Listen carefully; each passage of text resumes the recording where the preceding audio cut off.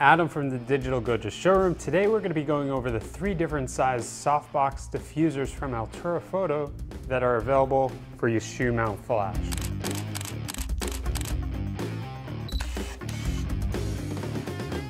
So if you're shooting with a shoe mount style flash, like the one I have here, the 430EX2 from Canon, it's a directional flash, creates a harsh and unflattering light source.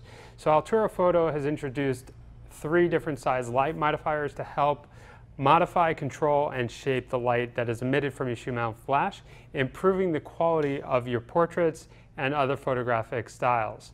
We have a 6x5, 7x9, and 13x8.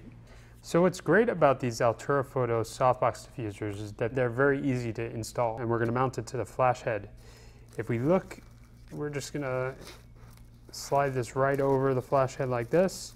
And then we're going to take this elastic band and just tighten it down so that the Velcro attaches to the side. And there you go. Let's take a closer look at the features of the Altura Photo Universal Softbox. They're going to all feature double stitching that's going to hold the panel to the frame. It's a very durable uh, softbox that's going to last you a while.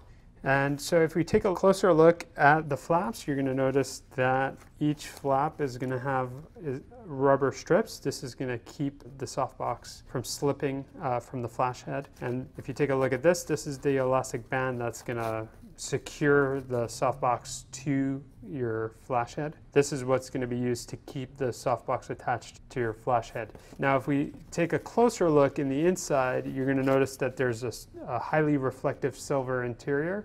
This silver lining is going to make sure to maximize the flash output. Next feature that we're going to see is that this softbox will feature a secondary diffusion. This will make sure that you're not going to get those harsh or bright highlights on people's faces or objects. So another great feature of this softbox diffuser is the fact that it folds up. It comes provided with a case. And this just makes it easy uh, to carry it along with you wherever you go. And there you have it. That's the Altura Photo softbox diffuser that's universal. It fits standard shoe mount flashes. So welcome to the Digital Goja Showroom Studio. Uh, we're going to be testing out the Altura Photo softbox diffusers. Uh, so we're going to start off taking photos of Izzy with the camera set in the portrait mode. Uh, and we're going to take it without any diffusion on the, on the camera so you can see how the image looks. All right. So we notice that the shadows fall to the side because I have the camera in portrait mode and there is a distinct shadow that the flash makes because it's a direct flash. So now we're going to take the 6x5 diffuser. We're, we're not going to attach the internal diffuser on there yet. All right, Izzy, give me a smile.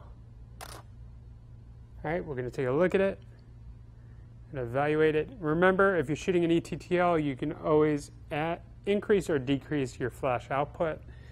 So we're going to take this off. Now we're going to take out the internal diffuser and we're going to add that to the flash. Now I'm going to go into the exposure value and I'm going to increase it two stops.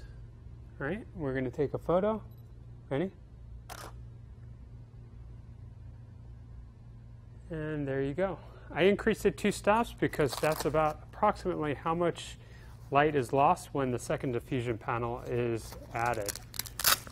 So now we're going to take the 9x7 softbox diffuser. We're, again, going to start with just the front panel diffusion. We're going to add this onto the flash.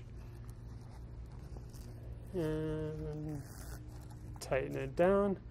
I'm going to change my exposure again to zero because I don't have the secondary diffusion on that. And Izzy, give me that smile once more. Okay.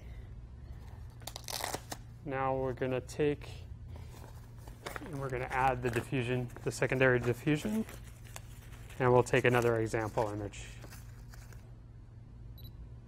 All right, so I'm going to go ahead and add about two stops to my exposure compensation for flash. And we're going to go ahead and take another picture. Give me one of those big, huge smiles you got there. All right. Okay, now let's take a look at the 13 by 8 softbox diffuser. So again, we're going to start off the first shot. We're going to take it without the internal diffusion. Notice how much larger area this softbox diffuser is. It's going to spread the light out more and it's going to illuminate more of uh, my subject matter.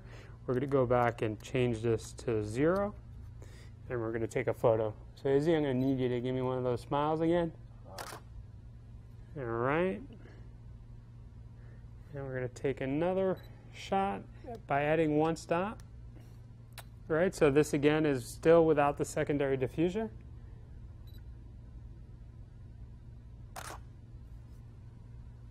All right. Now we're going to add the secondary diffuser to this to see how it looks. Ready? Give me one of those smiles and don't forget again, remember if you're increasing the amount of diffusion, you're going to most likely have to increase the exposure compensation on your flash. So we're going to add again, go to plus two. And we're going to take another photo. And there you go. All right, so we're going to show you all the different photos that we've taken. Hopefully this helps you out.